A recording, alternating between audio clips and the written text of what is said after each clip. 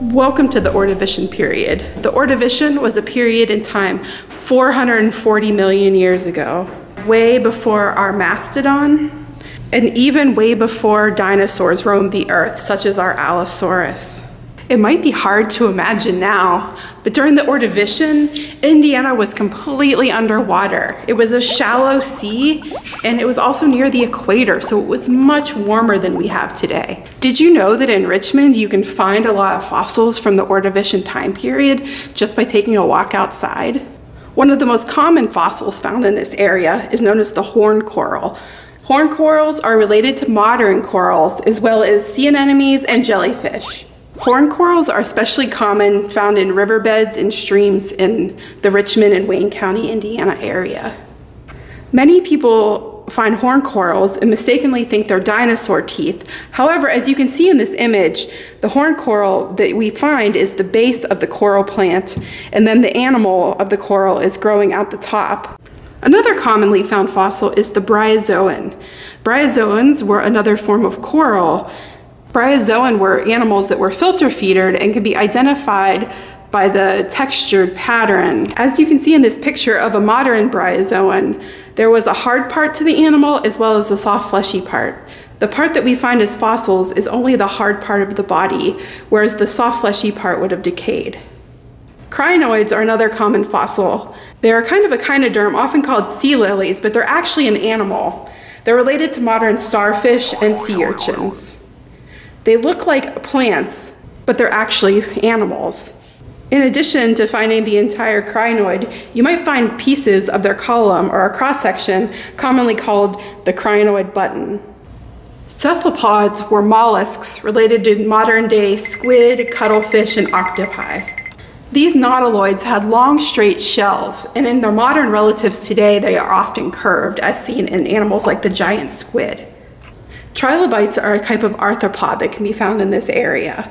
There are many different kinds of trilobites, some that are more curled up that you can find and some that are more flat and long. They kind of look like modern roly-polies. And their closest living relative is the horseshoe crab. Brachiopods are one of the most common and easiest to identify fossils found in our area. They're related to modern clams, scallops, and other mollusks. Brachiopods, like modern mollusks, were filter feeders, so they ate whatever was carried nearby by the current.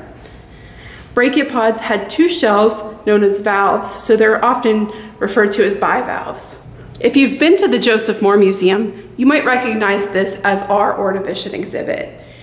Now we're going to teach you how to go outside here in Richmond in the Wayne County area and find your own Ordovician fossils. Then you can take them home and create your own Ordovician exhibit.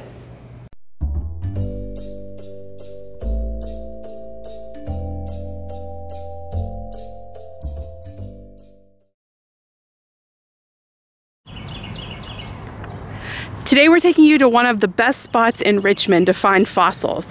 It's right near the high school at the intersection of Southwest G and Hub Etchison Parkway. And you can see where we're located if you go right across from the football field. As you're entering the trail, you'll see this sign leading to the Whitewater Valley Gorge Park Trail. As soon as you start making your way down the trail, start looking off to the side in, at the trees and seeing if you can find any rocks.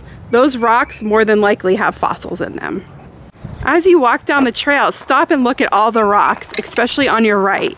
As you can see, we haven't made our way very far down the trail yet, and already we're finding fossils. Laying right here on the edge, we found this fossil. This rock has lots of different fossils in it. You can see some bryozoans. You can also see some brachiopods. Spots along your way like this where the hillside's relatively bare with lots of crumbling rocks are excellent places to find fossils. Coming down into the stream bed, we're not finding as many fossils down here, but we are finding some. Here's a really great example of a horn coral. Here's another example of a good fossil that we found. You can see lots of brachiopods as well as bryozoan on this fossil.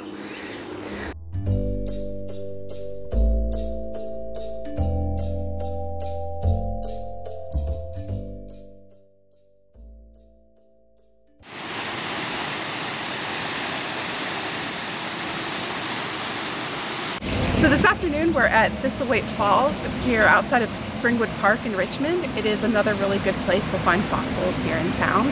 Um, right now we're on the north side of the bridge above the falls, upstream from the falls, and uh, there's a little area down here that's full of rocks where you can grab rocks, pick them up, and find all kinds of fossils in all of them.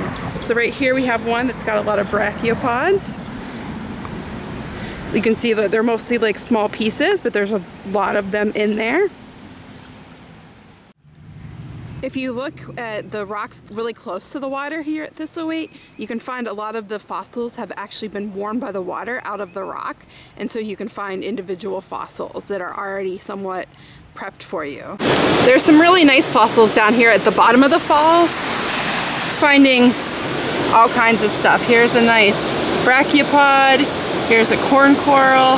Here's another really nice horn coral here that's almost completely out of the surrounding rock. Lots of fragments of brachiopods and bryozoans as well. While you're here, there's a really cool geologic history of the gorge you can read. It tells you about the glaciation and the Whitewater Gorge and how it formed. You can also learn about the history of Thistlethwaite Falls and how it was formed.